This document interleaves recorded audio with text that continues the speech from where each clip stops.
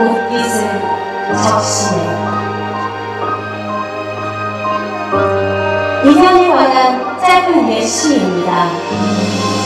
여러분들에게 인연이란 무엇인가요? 그 옛날 맺어질 수 없었던 애절한 사랑과 두 남녀의 인연에 관한 조그만한 이야기를 지금부터 시작합니다.